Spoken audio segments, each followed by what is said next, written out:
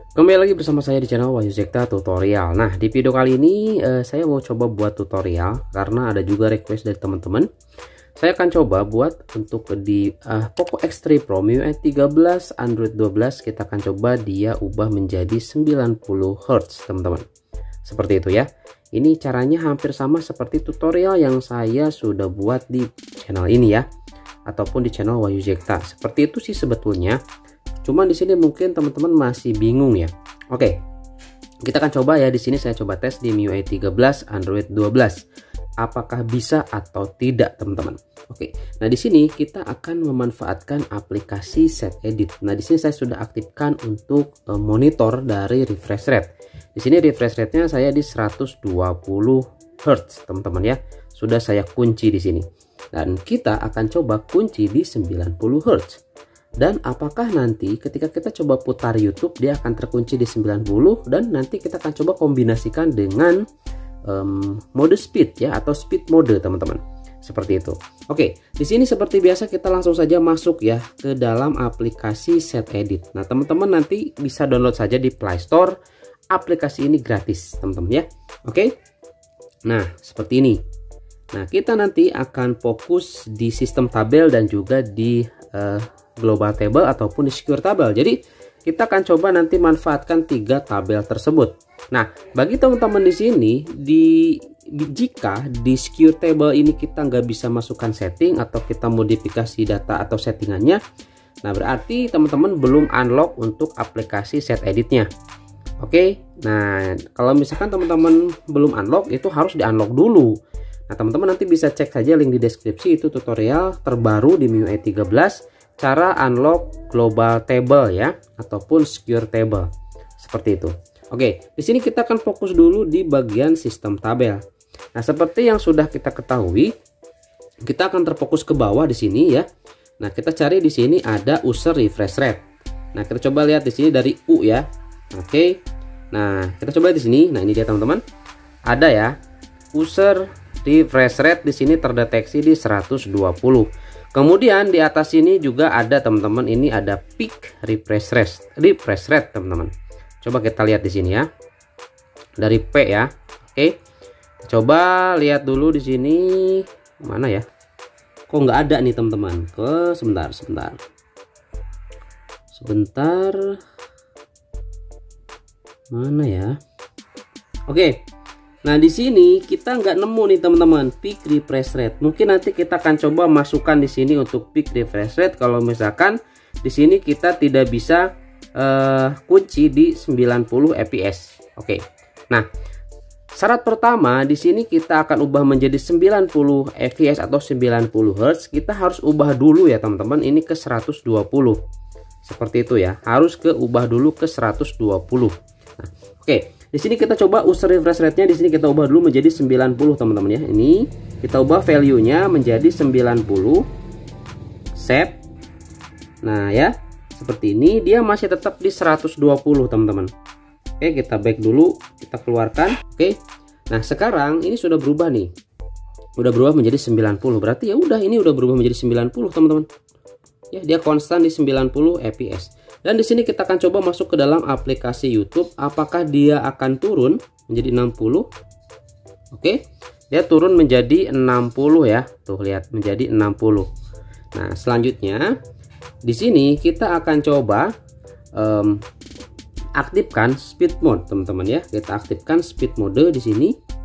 Ya. Ini di MIUI 13 Android 12 masih work ya, masih bisa gitu, teman-teman. Kemudian di sini kita langsung saja masuk ke dalam secure table.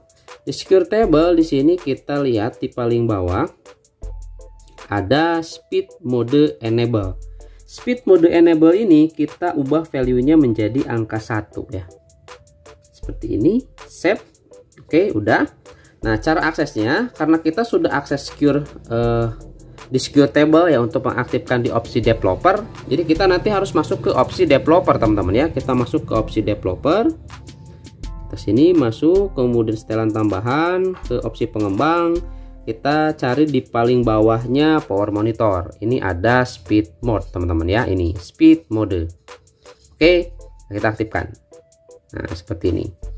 Kemudian kalau misalkan di sini bang saya belum unlock uh, set editnya nih masih belum bisa akses secure table ataupun global table. Gak apa-apa.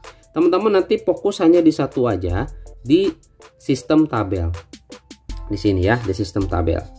Nah selanjutnya teman-teman nanti ke bawah sini cari ada mode speed atau speed mode. Kita cari di sini ya S dari S nih.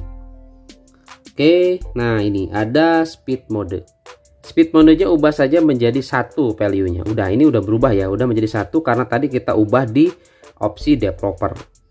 Speed mode 1, kemudian user refresh rate ubah menjadi 90 dan di sini tanpa harus memasukkan script peak refresh rate. Nah, di sebagian smartphone, eh, salah satunya di HP apa ya, saya lupa. Itu harus ubah menjadi atau kita harus memasukkan settingan peak refresh rate di sistem tabel ini baru dia akan terkunci 90 ya. Seperti itu itu ada yang seperti itu. Tetapi di Poco X3 Pro saya di MIUI 13 Android 12 kali ini yang terbaru ini nggak perlu. Jadi cukup user refresh rate kita ubah menjadi 90 dan untuk speed mode kita ubah menjadi value nya 1 oke udah jelas ya teman-teman ya? Nah, di sini kita akan coba masuk ke dalam YouTube ya. Jangan lupa di sini kita clear dulu recent aplikasinya. Nah, ini sudah anteng 90. Dia gak, gak bakalan nyampe melebihi angka 90, teman-teman ya. Ini udah di 90. Kemudian dan kita coba cek di aplikasi YouTube ya. Aplikasi YouTube, kita masuk ke aplikasi YouTube. Nah, dia sekarang tetap di 90, teman-teman. Ya. Nah, dia tetap di 90 enggak turun. Tadi kan sempat tuh jadi 60. Jadi scroll scroll di sini udah enak, teman-teman. Ya. Kemudian kita coba masuk ke Instagram. Oke. Instagram juga udah 90 tuh. Dia 90 ya. Nah di samping uh, ini udah di 90 fps 90 Hz.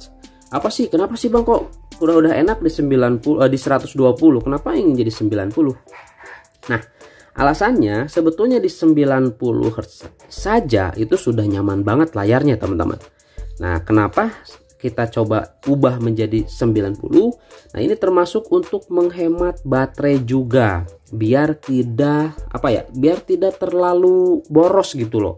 Jujur aja ya kalau misalnya kita menggunakan refresh rate 120 itu borosnya itu kerasa banget teman-teman. Seperti itu ya. Nah, kalau misalkan di sini teman-teman yang udah terbiasa menggunakan refresh rate 120 Hz dan diubah menjadi 90 Hz sebetulnya itu perbedaannya sih nggak terlalu signifikan ya. Jadi perbedaan pergerakannya itu nggak terlalu jauh lah. Seperti itu cukup di 90 Hz juga cukup teman-teman.